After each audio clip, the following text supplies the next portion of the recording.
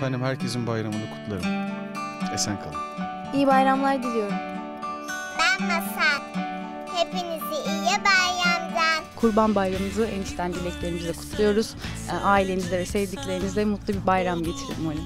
Herkese ailesiyle birlikte mutlu, huzurlu bayramlar diliyorum. Klasik bir cevap ama şunu da söylemek istiyorum. Lütfen küsler barışsın. Üç günlük dünyada küs kalmayı gerçekten beğeniyor. Sonra arkanıza dönüp baktığınız zaman keşke onunla vakit geçirebilseydim demeyin. O yüzden küs olduklarınıza sarılın bu bayram ve güzel bir hayatınız devam etsin.